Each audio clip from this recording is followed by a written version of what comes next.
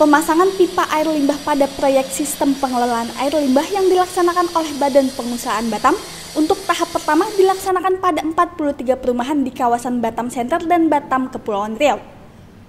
Total pemasangan pipa primer dan sekunder di jalan utama dan jalan lingkungan ini adalah sepanjang 114,3 km dengan 11.000 pipa sambungan rumah.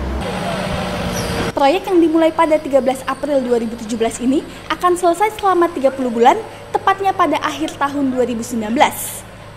Anggaran proyek ini merupakan APBN yang berasal dari pinjaman hibah luar negeri Korea Selatan sebesar 50 juta dolar Amerika, ditambah dana pendamping murni sebesar 5 juta dolar Amerika. Kepala Bidang Pengelolaan Limbah BP Batam, Ius Rusmana mengatakan, untuk tahap pertama, proyek instalasi pipa yang dikerjakan di wilayah pemukiman Batam Center hingga minggu ketiga ini telah rampung total sekitar 22 persen. Sedangkan instalasi pipa yang sudah dikerjakan adalah sepanjang 40 km dari 114,3 km yang direncanakan. Lokasi yang mana aja? Nah, ini deskripsi proyeknya. Sampai bulan Agustus minggu ketiga sekitar 22 persen, ya, 22 persen. Kalau pipanya sudah terinstall sekitar 40 km dari 114 km. Ini untuk tahap 1 untuk Batam Center. Targetnya 43 perumahan di luar daripada ruko-ruko.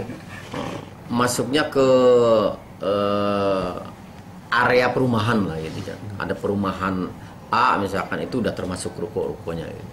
Ini anggaran APBN tapi PHLN dari Korea Selatan sebesar total 50 juta US dollar plus rupiah murni pendamping ada 5, 5 juta US dollar.